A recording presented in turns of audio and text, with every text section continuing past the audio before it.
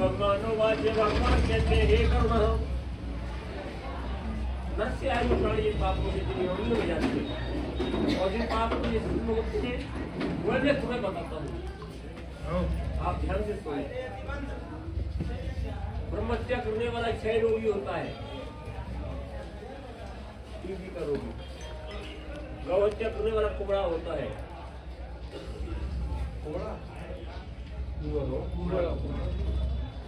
बाल हत्या करने वाला कोई होता है। स्त्री घाती गर्भपात इसे पुरंदो रोग बाँध हुएता स्त्री का घात करने वाला।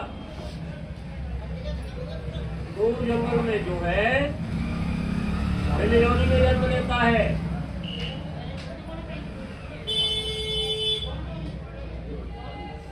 अयोग गमन करने वाला। नपुंसक होता है द्रौपदी से मंदिर धारा वाला होता है मांस खाने वाले का शरीर लाल रहता है विद्या के स्वाद है जो आपसे पदार्थ खाता है बैठ जाने लगी मैं बैठी नहीं बैठ मैं वो जलोदरी होता है सारा शरीर उसका पतला पतला पेट निकल जाता है उधर ज़्यादा बढ़ जाता है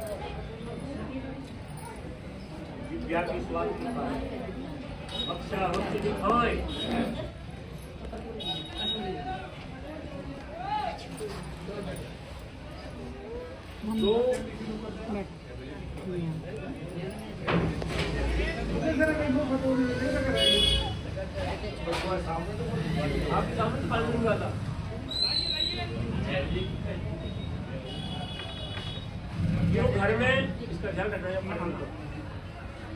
जो घर में बड़े बूढ़ों को न दे करके, बालकों को न दे करके, नौकरों को न दे करके अच्छा भोजन स्वयं करता है, मालिक हो करके, वह गलगन रोग से परेशान रहता है। गले में बीमारी। उसके गले में गलगन रोग बन जाता है।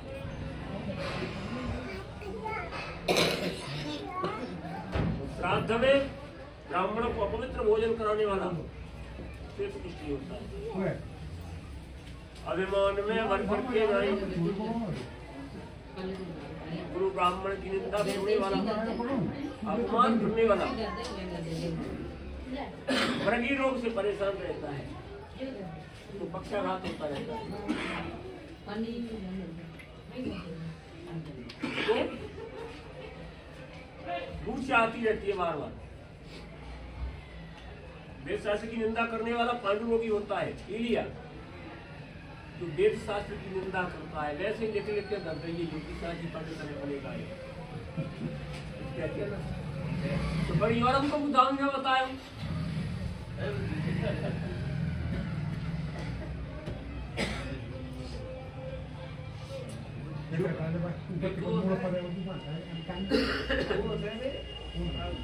नीचे था पांडु रोग से परेशान रहते पीलिया से झूठी गवाही देने वाला गुंगा होता है। विवाह में विघ्न पैदा करने वाले कटा हुआ हो होता है।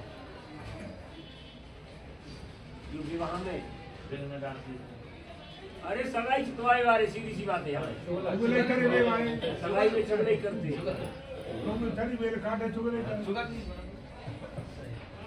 किसी गाँव में एक ऐसी सज्जन जी थे तो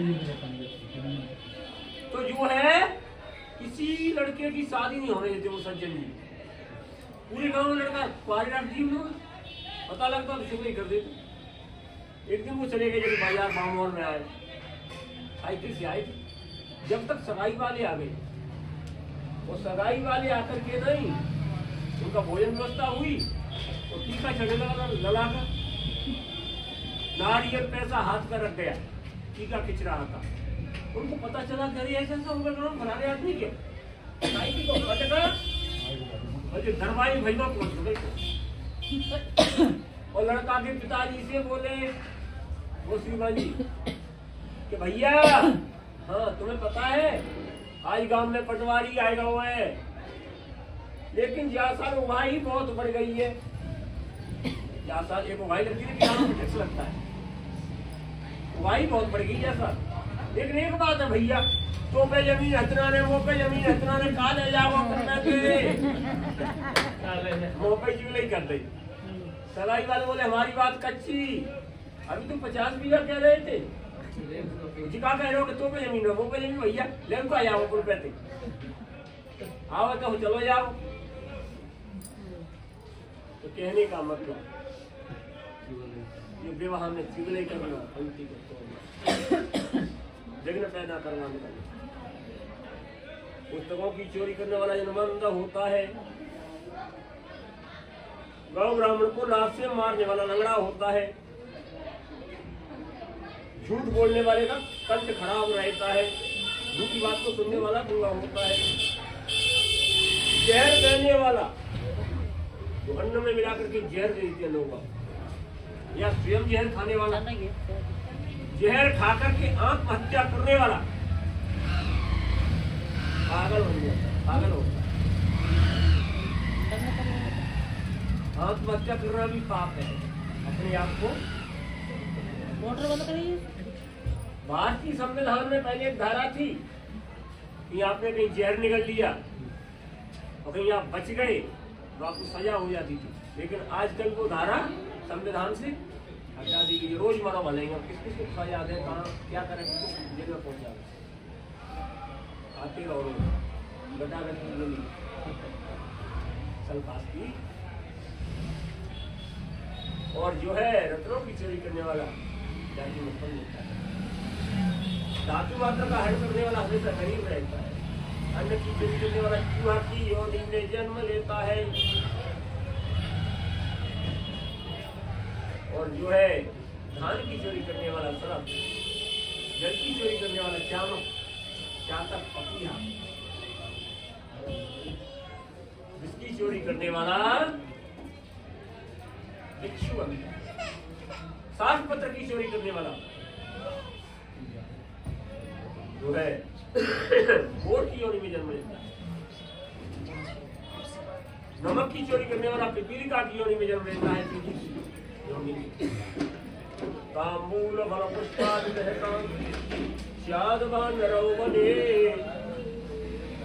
तांबूल फल करता है जंगल में जाकर के बंदर की में जन्म लेता है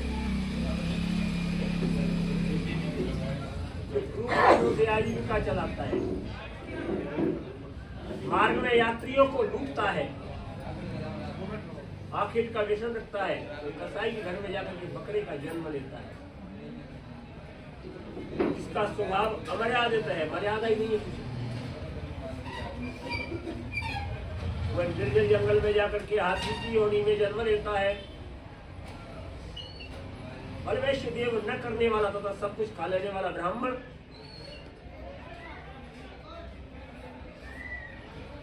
निर्जल जंगल में व्याग बनता है। वैसे तो सभी गृहस्थों को परमेश्वर देव करना चाहिए पाँच यज्ञ रोज करना चाहिए। पहली रोटी किसको होती है? पहली रोटी? बाद वाली? तो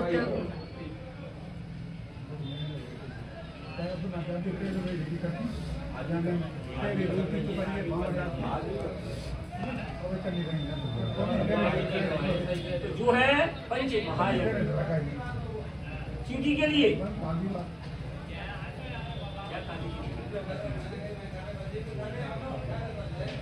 गज के मुख से गिर गयो। क्या गज घटो आहार।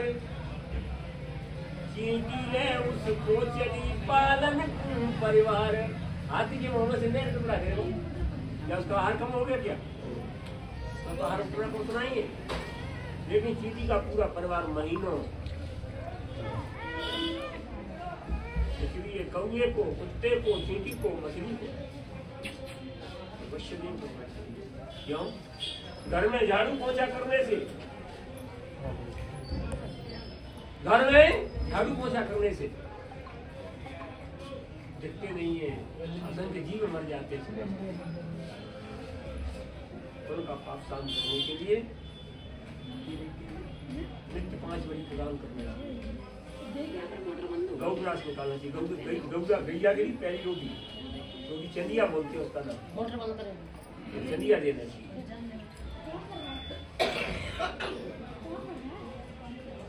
जो ब्राह्मण गायत्री स्मरण नहीं करता गायत्री का जप नहीं और के लिए तो है सो है लेकिन ब्राह्मण के लिए नींद में भी काटे हैं। कहा बोल रहे हो आप। चार संध्या बताइए? अभी संध्या करें हम के बच्चे ने पाले। बोलो, आपका फैसला है। प्रातः काल संध्या करो। कम से कम जो ग्यारह सौ मंत्र गायत्री के बोलो ब्राह्मण को तब दूसरे का भोजन पचेगा। दोपहर में संध्या, शाम को संध्या। रात के बारह बजे पूरी संध्या। फिर जब कल रात बारह बजे। इतना क्या करें बोलो?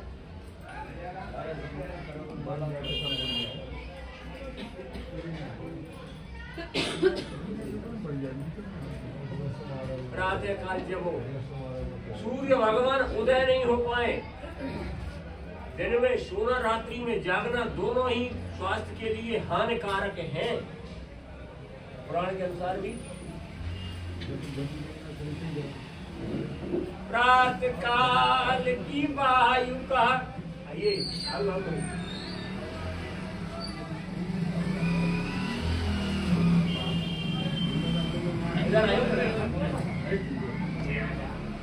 प्रात काल की वायु का सेवन करत सुजान।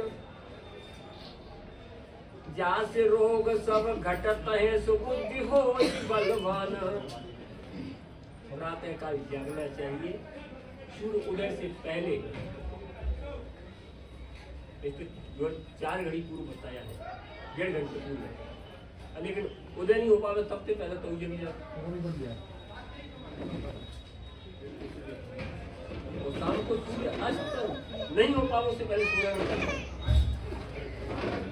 नहीं तो वो भी हानिकारक है।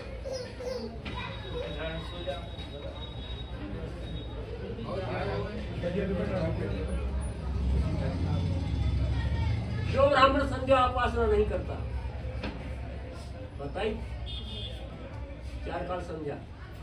बेचारे बताओ। संध्या में लगे रहे लगे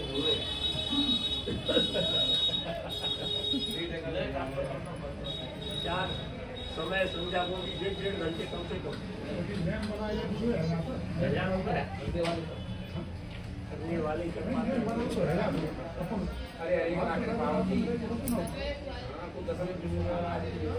जिनका अंतकरण दूषित है। वो बाहर से बड़े अच्छे दिखते हैं बड़े चमकदार और